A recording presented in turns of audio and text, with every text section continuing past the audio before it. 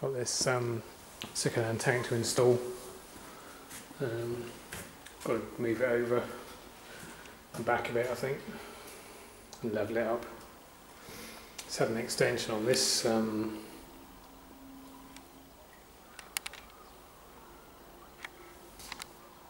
see now.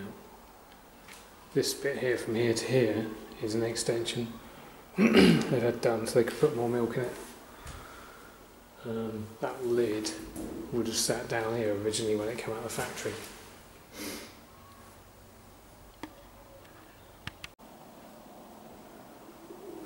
I've got that moved over a bit. We want to go over a bit more. Doesn't want to come back any further, I don't think. Because you've got to allow to work in there. And also when that lid comes up, it swings out. So you want to have enough room for you to get in there. But we want to come over a bit because we're right on the edge of that drain. We've got the thing balanced on jacks, so what we can do is swing the jack round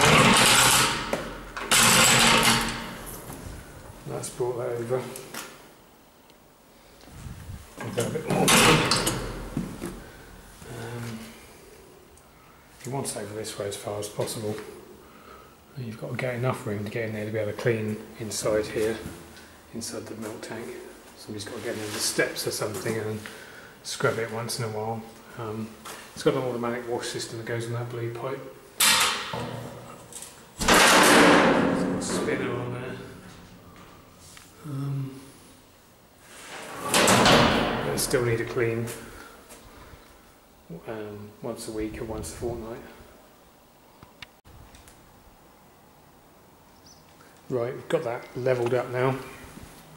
Let's take all the legs out, all six legs, and um, clean the threads up. Um, the ones on the left hand side were quite rusty.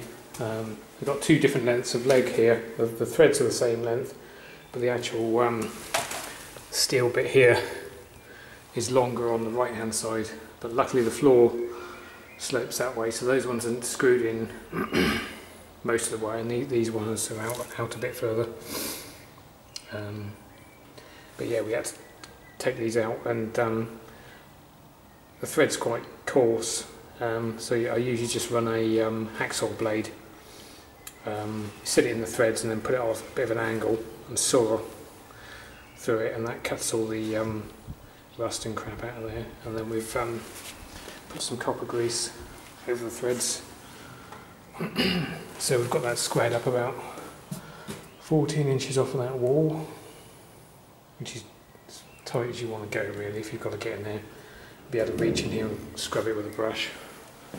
Um, we've got a bit more at the back because um, you might put the tank washer down in this corner. So I'll give enough room, hopefully the washer to fit there. Uh, well, the washer will fit, but it might be a bit tight when the lid comes up. But um, anyway, that's that. So we've got two copper coils fed off by two expansion valves, so we'll just teed um, solenoid. And then we've got two submersible water pumps in there to pump chilled water around. They've got a spray rail along the bottom that fires up against the bottom of the tank where the milk goes, and then you've got a, like a ring all around the top here of the milk vessel with holes drilled in it to jet water on, and that, that runs chilled water down the outside wall of the tank um, and cools the milk on the inside. We'll run off these here, should off automatic and manual for the milk cooling, auto and manual for the ice, ice building, and a two minute stir to ensure the milk's mixed up nice. So if, if you want to take a milk sample or take some home for your cornflakes in the morning, it's all mixed up nicely.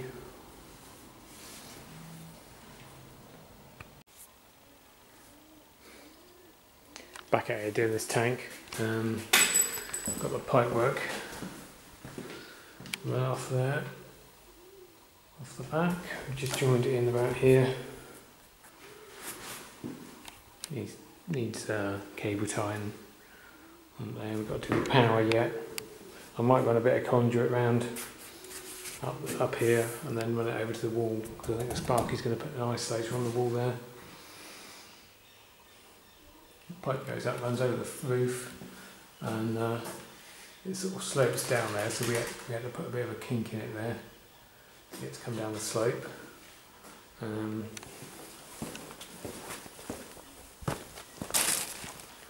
and then it comes out of the wall,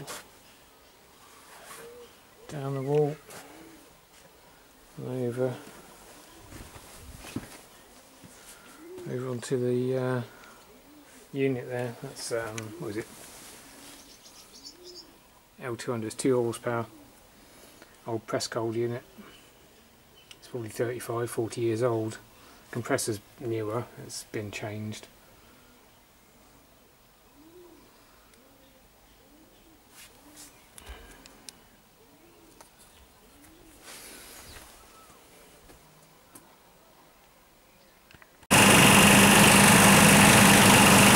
That running, um, been running all day really.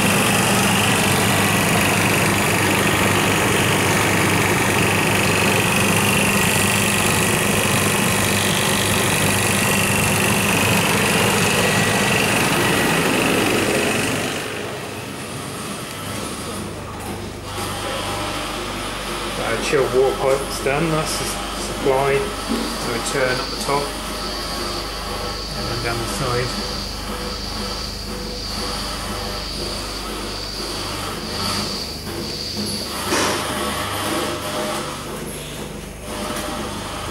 Pump. Put a strainer in there so if there's any rubbish it'll catch it in the Y strainer. And we've run the pipes um, at the bottom of the tank where the drain used to be. We've took that out and put a fitting in there. And we've got a tap in there. So we can change the pump if we need to. Um, and we put a contactor in there for the pump. And that relay is to talk to the robot. So when the robot says it's milking, it'll um, bring the pumps on in the tank and also run the pump down